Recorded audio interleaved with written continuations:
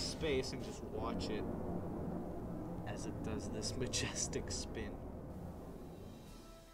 Hey guys, Marman 2468 here, and today we're playing Kerbal Space Program, and uh, I've got something pretty awesome to show you guys. It's uh, the spin wheel in Kerbal Space Program.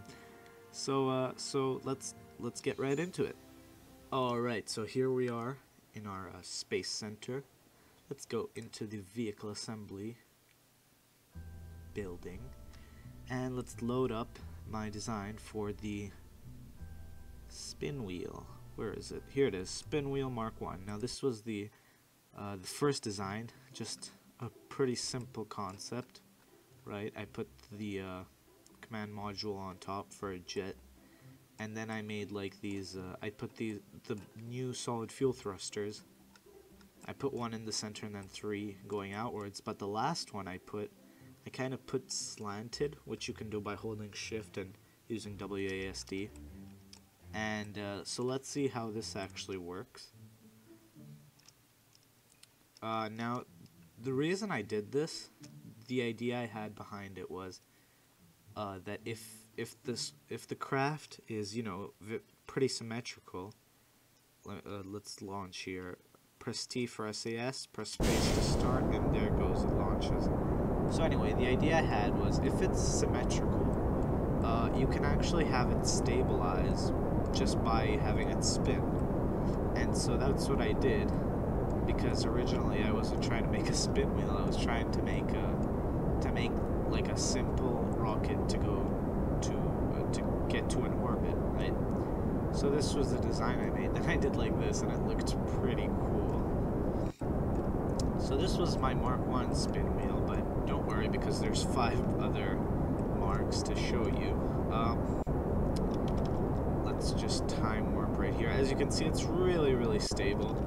And uh, it's actually having re-entry effects while going out of the atmosphere because we're going at very high speeds and we're still in the atmosphere. We're still at 25 kilometers.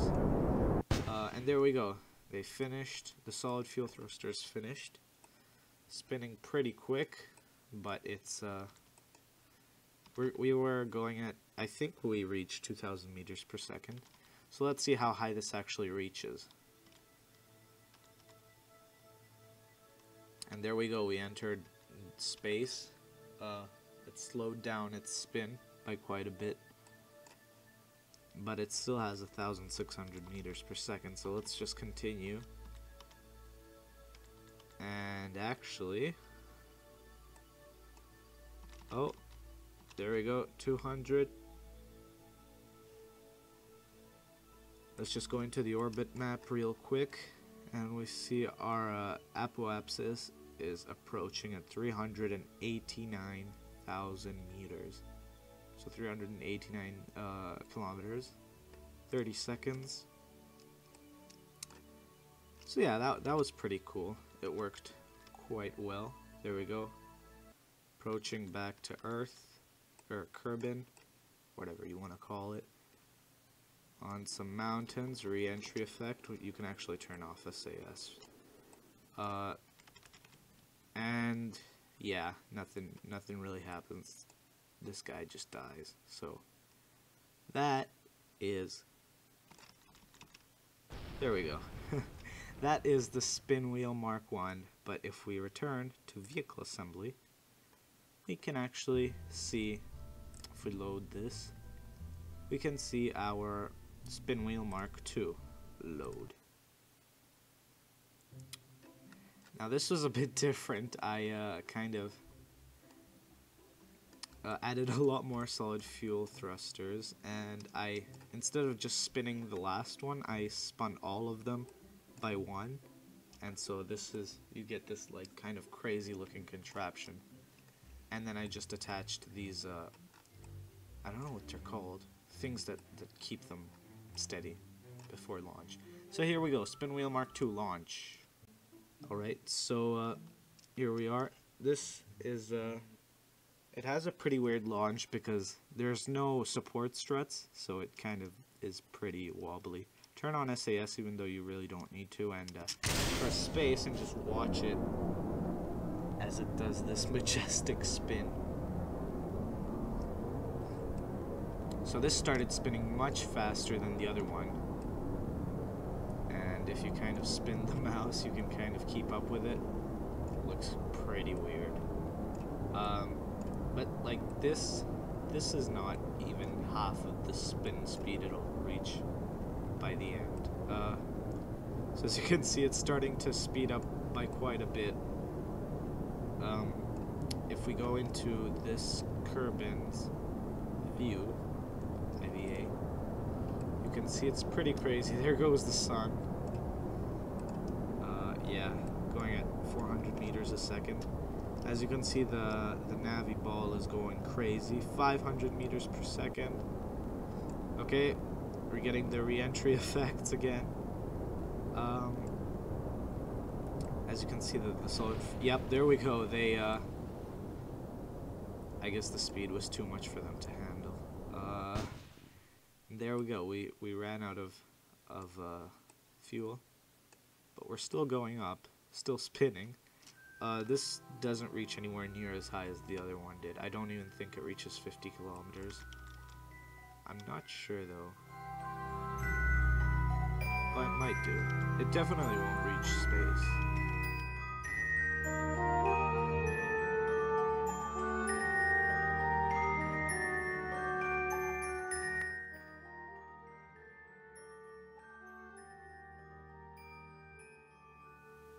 Alright, so here we are approaching back to Kerbin. Uh, this one only made it like 50, 50 kilometers. And there we go. This one, again, I forgot to add parachutes, but whatever. This guy is going to have...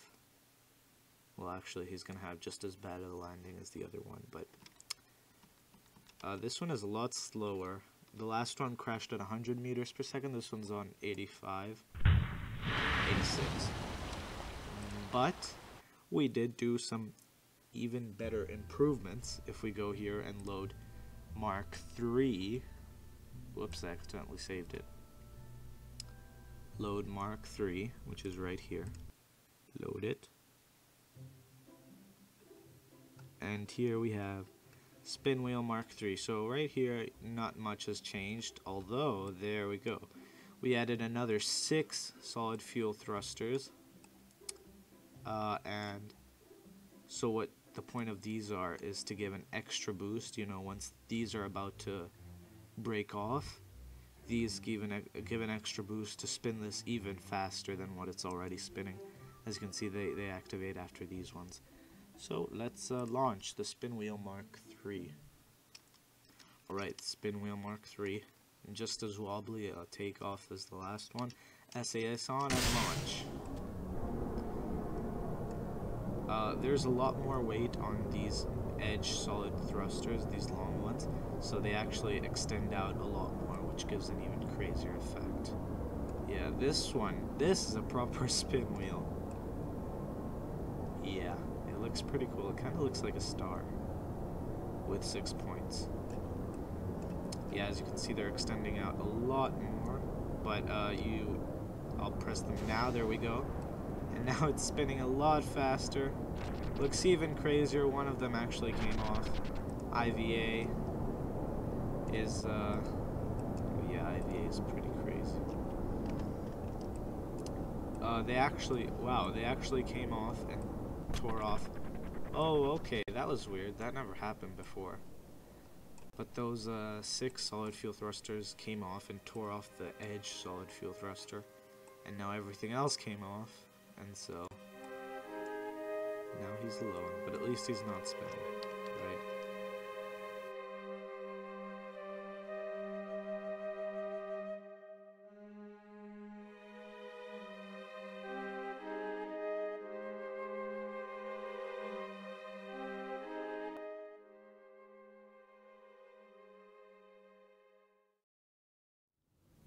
Alright, it's about to break. This one really did not go high. It went so low that it the Earth didn't even get a chance to move around it, and we landed in the same exact spot. So, uh, well, we have something even cooler than that. Mark 4 Now Mark 4 was kind of a fail, which is why I have a Mark 5 and 6. Mark 4 uh, was kind of like a test.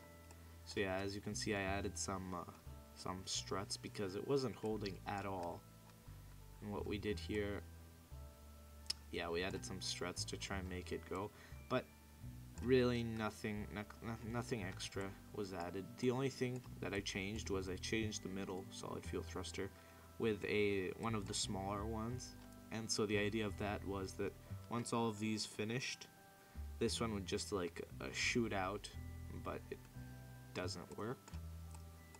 And uh, I took this idea and I made it into the spin wheel Mark V, which is right here. Load it. And here we go, the spin wheel Mark V uh, looks pretty awesome. And finally I remembered to add parachutes. So basically what this does is uh, has parachutes here to kind of keep it steady once it starts wobbling. But what it does is once it starts wobbling and everything breaks, this decouples this little part right here. Here's the, where is it? Here. It decouples and these start spinning really even faster than these and so uh, it just shoots up. Well, that was the plan anyway. So let's see how this works. Um, it's pretty crazy. Now what you can do is you can either uh, activate the parachutes as soon as you take off for like maximum drag and that'll keep it slow but what we'll do is activate them later on so they won't actually deploy fully so they'll have a smaller drag. But yeah as you can see the view is still the same as always. The view from inside uh, well it's kind of covered by all the parachutes and solid fuel thrusters. So let's go back outside. Now um, parachutes you can activate once you pass three kilometers. It's safe to activate them. Yeah, as you can see, it keeps it stable a little bit more, but not a lot. And so then you activate the solid fuel thrusters, and that did not work. well, it kinda did. Not really. So as you can see that, now it, it stabilizes again. Once you remove this part, it stabilizes again but if you don't, it's not stable. I'll retry that and hopefully it works.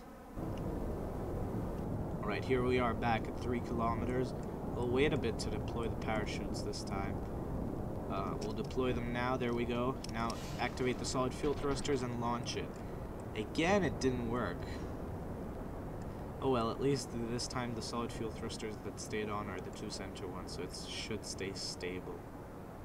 Somewhat stable at least. We're actually going faster than that this time. Uh, wait, um, do I have three solid fuel thrusters attached? I can't tell. It's spinning so fast. Maybe if we look from the inside. So we have that one and that one. So no, I think only two are actually attached. Go back to... Oh! They ran out.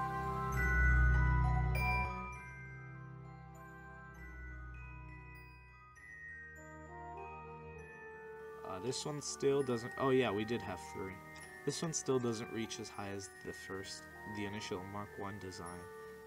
But um, I like this idea of having the decoupling and separating it with its own separate solid fuel thrusters.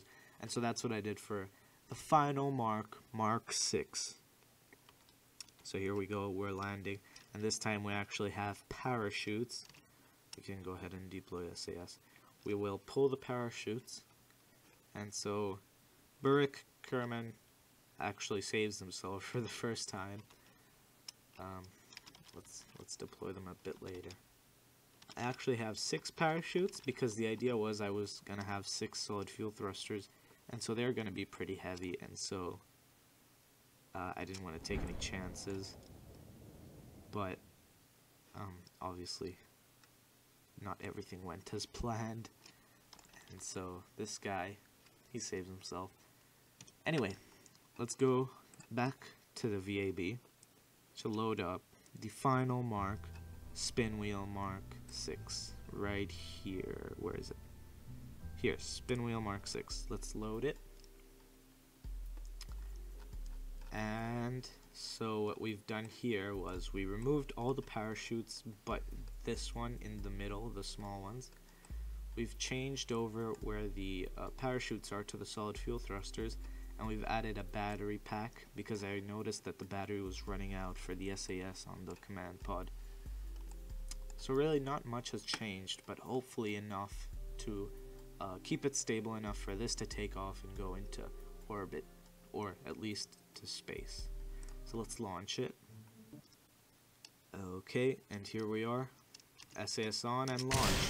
So these ones, they're pretty small parachutes, so you can activate them from the start.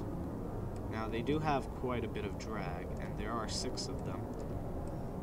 Uh, but what the point of these are is for this to not pick up too much speed in uh, like vertically, but to pick up as much speed as possible uh, in spinning wise, I guess. Uh, and they do work pretty well. So then once this, once it starts spinning out of control like this, you can actually wait a little bit more. Uh, there we go, now it's kind of shaking a little, it means it's not stable. So you press these solid fuel thrusters and take it, launch it. So there we go, Ooh, that separates completely. Uh, and just pray that you don't get hit by some uh, solid fuel thrusters like that one. Wow, that one is pretty high. I guess the parachute detached from it. And so that's why it's going so fast. But anyway, again, getting re-entry effects. There we go. It wasn't as fast as the other one, and the solid fuel thrusters ran out before we actually got a chance to get out of the atmosphere, at least the top, the bottom part of it.